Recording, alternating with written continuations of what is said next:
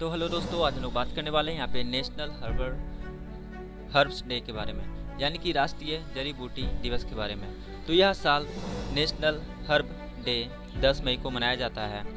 जड़ी बूटी को हमारे जीवन में बहुत अहमियत दिया गया है, ताकि हमारे शरीर में जो इम्यूनिटी का भंडार है, वो जड़ी बूटी की वजह से ही है।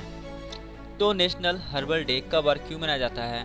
तो जड़ी बूटी का इस्तेमाल आज कई युग पहले किया जा रहा है। एक ज़माना था जब जड़ी बूटी वाकई में हमारे शरीर के लिए फ़ायदेमंद साबित होती थी, लेकिन आज के मिलावटी युग में जड़ी बूटी में भी मिलावट देखने को मिलने लगी है। जड़ी बूटी निर्माण असल में बड़े विद्वान द्वारा किया गया था। पहले ज़माने में अंग्रेज़ी दवा की प्रचलन नहीं थी। सारा इलाज जड़ी बूटी के माध्यम से ही किया जाता था और स्वाभाविक है कि उस समय अधिकतर लोग ठीक भी हो जाते थे। लेकिन आज की तारीख में लोगों को यह नहीं मालूम कि आखिर जड़ी बूटी का सही इस्तेमाल कैसे किया जाए। इसके साथ असली और नकली जड़ी बूटी का अंदाज़ा लगाना काफ़ी मुश्किल हो चुका है।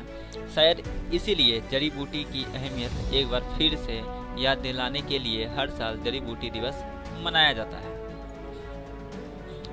तो हमारे देश में कौन कौन सी जड़ी बूटी पाई जाती है? तो पहला है अनाक, बहुमात्रा, कमाल की, साइप्रस फॉल्स डेजी, खट्टी बूटी, दूधी घास। तो ये सब जो है जड़ी बूटी पाई जाती है। ये थी कुछ जड़ी बूटी जो कि खास तौर पर हमारे देश में पाई जाती है।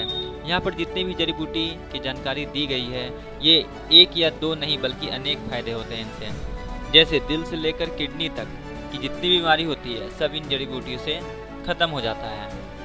सिर में दर्द हो या फिर मधुमेह की परेशानी हो, सभी जो है यहाँ पे ख़त्म आपको जड़ी बूटी मतलब नेशनल हर्बल डे के बारे में जानकारी कैसी लगी? और इसी तरह की जानकारी देखने के लिए मेरे चैनल को ज़रूर सब्सक्राइब कीजिएगा। तब तक के लिए बाय बाय थैंक यू